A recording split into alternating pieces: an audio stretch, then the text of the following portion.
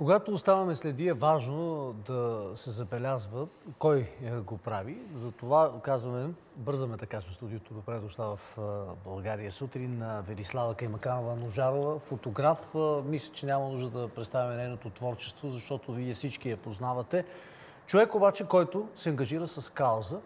Каузата за създаване, за закупуване на първата педиатрична линейка у нас. Добро утро, добре Добро дошли. Утро. Кауза с успех вече можем да кажем. Мисия с успех. Как започна всичко? Случайно. Случайно започна.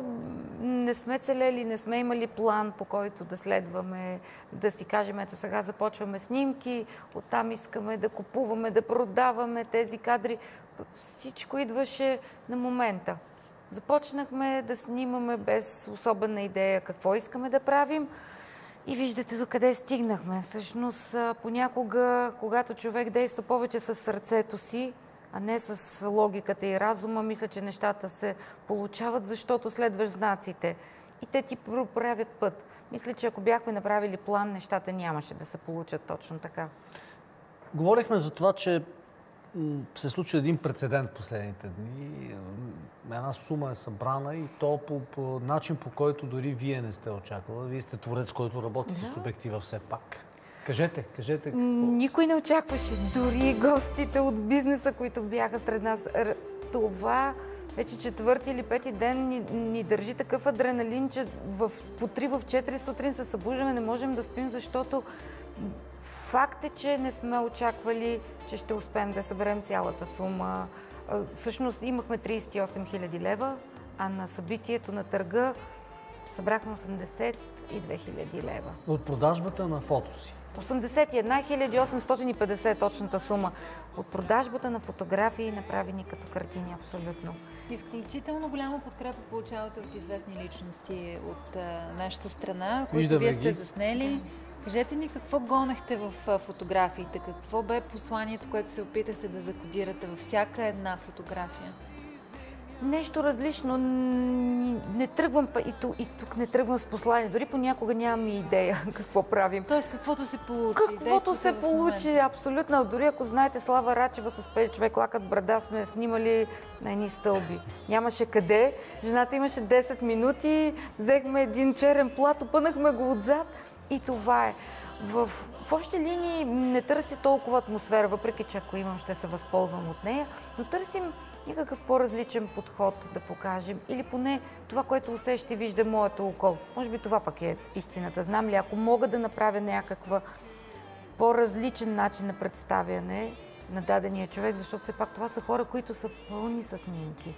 Разбирате ли отговорността, освен всичко, и колко е голямо? Бих казала. Ами, на мен може би не ми е трудно. Знам ли? Не го чувствам да ми е трудно или поне не си задавам. не искам да влизам. Капризите си, личните артистите и музикантите, защото вие знаете по-добре от нас колко трудно се работи с тях, особено при фотосесии, а, в името на каузата. Така, казаха ли... А... Аз заради тези трудности напуснах списанията, защото там си ограничен да. от финансово. Значи там ти си неемен работник. В смисъл, там отиваш и имаш зададена цел. Докато тук имаме свободата и тук е много различно. Изобщо капризи май не ми е минало и през ум да си помисля или знаете ли, ако излезнем от ролята на жертви и просто приемем всичко, че което ни се случва така трябва да бъде. Не съм имала. Над 150 човека мисля, че вече сме заснели. Изобщо нямам спомен да съм имала някакви затруднения. Но пак ви казвам, много е различно от това да те извикат да ги снимаш за нещо дадено. Тогава вероятно всеки ще има изисквания. Докато в случая имаш мисия. И е много различно. Седи на стълбите, една бърза снимка в името на... Окей, okay, да, трябваше после да си я видят и да ми повярват някои от тях и само питаха, сигурна ли си, че ще стане този кадър? Защото буквално от нищо нещо правим, разбирате ли? Очевидно сте се справили великолепно и безапелационно. да кажем обаче как, стигна, а, как стигнахте до онзи момент и решение средства да бъдат събирани именно за първата педиатрична линейка в България? Аз съм го казвала много пъти, защото това е истината. Ще се преповторя, но това е истината. Не зная, просто си Хубаво седях. е да го кажем значи, още веднъж. Като купувахме ковиози, много вече, и ходейки по болниците, разбрах, че вече на доста места са заменени старите ковиози. Доста дарители се появиха И тъй като се се стрема да правя нещо по-различно, не знам, просто седнах пред компютъра и написах педиатрична линейка на английски. И когато изкочиха картинките, като един творец, първо бях запленена от визията.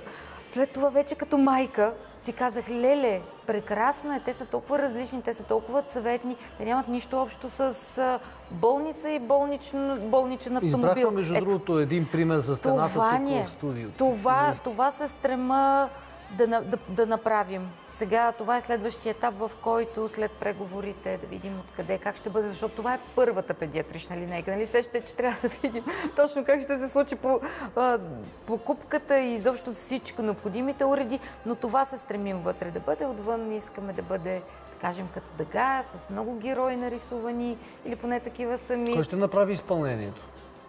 Намериха се хора, които ни написаха, че ще го направят. Ми, Страхотно. Намерихме, а, нека да стане, нали, за да, mm-hmm. да ги съобща, но абсолютно във Фейсбук ни писаха хора. Единият човек, който се занимава с боядисване на коли, ни писа, ние искаме да направим външния вид.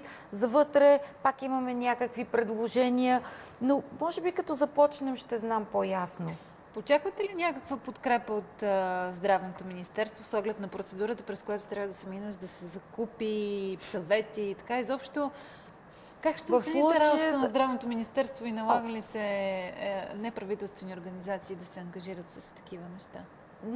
Изобщо няма да коментирам по простата причина, че не ми се задълбава в нещо, което не е моя работа. Аз съм човек на изкуството и ако мога да помогна, гледам как да помогна изобщо другите мисли, ги, не отдавам значение дали държавата трябва да го направи, след като аз мога и поне едно дете ще бъде спасено, не мисля, че трябва да задълбавам. Но в случая сега Министерство ни е необходимо. Ще опираме до него, ще опрем до него, трябва да си направим среща. Mm. По няколко въпроса. Всъщност това съпруга ми се занимава с тези неща. Слава Богу. То, за мен е друга вселена са тези преговори. Само просто прочетох и чувам от тук, от там, но естествено, че ще трябва. Този път вече ще трябва да опрем до тях и до тяхната най-малкото помощ, съвет, знам ли насока, за тях също ще е нещо ново. Хайде сега на тежкия въпрос, свързан с грозната истина. Защо до момента нашата държава си няма такава линейка, при положение, че говорим за в крайна сметка едно не много по-различно от останалите амбулаторни превозни средства, но много по- поносимо за децата. И всъщност в това се коренеше предният въпрос. Защо ние до този момент я нямаме и една неправителствена организация ще осигури. 2016 година минава. Значи, когато започнахме, не си го задавах въпроса. Пак ви казах, гледам да се съсредоточа върху нещата, които могат да се случат. В Гърция, примерно, също няма. Но може би сега, водейки няколко разговора с различен тип болници, мога да ви кажа отговор – Ами нямат бюджет и нямат ресурс. Не е лесно. Значи, доколкото разбрахме на пак казвам, това са предварителни разговори, за, да, за начина по който ние искаме да работи тази линейка, ще са необходими минимум между 4 и 5 педиатрични екипа. Дали сещате, че това е сериозен бюджет, където и да дарим. И не всяка болница може да приеме това дарение. За държавна говорим, нали? Аз мисля, че е абсолютно ясно, че изобщо не визираме тук частни болници. Така че, вероятно, може би, това е една от причината. Но тъй като сме още в началото на такъв тип разговори, няма как да задълбая и да кажа, но от първия разговор това разбрах. Нямат бюджет и, и педиатрични екипи, които да са в а, наличност 24 часа. За да обслужват. От тук на къде? Има ли вече идея за нова кампания, за нова как? мисия? Разбира се, още, още по средата на търга. защото не ни остана нали време. Ще дойде, да. А вероятно, ми целим се да можем да купим линейки за другите големи градове. Тоест продължавате в посока напред. Към да. Абсолютно. Още педиатрични линейки. Да, какво мога да кажа, освен а, това, че а, и ние като хора пряко се ангажираме с това да ви помагаме по всякакъв начин, защото а, нещото, което правите е изключително. Просто за жалост не се сещат много хора. Ми, вие го правите, вие сте от малкото, които ни отразихте в интерес на истината. И ще продължаваме да го правим. Много и пожелаваме успех все така добър. Да, благодаря много. Велислава Каймаканова Ножарова, фотограф, част от а, Сдружение Кауза, с един невероятен успех наистина след а, търга с фотографии. Дано да си имаме първата педиатрична линейка и дано тя да не е единствената.